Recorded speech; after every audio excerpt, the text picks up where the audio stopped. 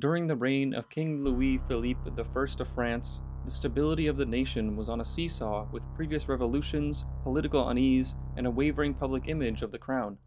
The reign of the king would be stressful, as with his time, seven attempts were made on his life. One of the most notable is the assassination attempt on the day of July 28, 1835 in Paris. An annual review was made by the King of the French National Guard, with the commemoration being for the earlier 1830 French Revolution. The king would be known to make a route to the barracks with his command staff. The route would take them down to Boulevard du Temple.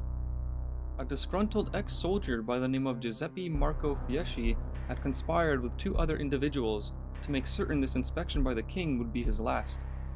Giuseppe, though not being known as a gunsmith, toiled over his project, the Machine Infernale, a collection of 25 gun barrels aligned along a wooden base structure with a linked touch hole system to allow all the barrels to be ignited simultaneously, thus providing a great volley of projectiles.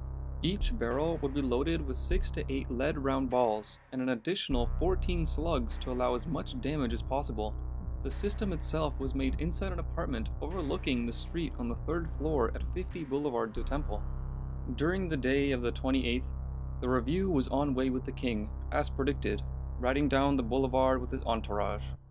As noon approached, the king would come under the building to which Giuseppe was waiting, though, with a great flash and report, the machine had gone off, as though a line of musketeers had fired. Suddenly, it was raining bullets, over 400 of them. Chaos ensued.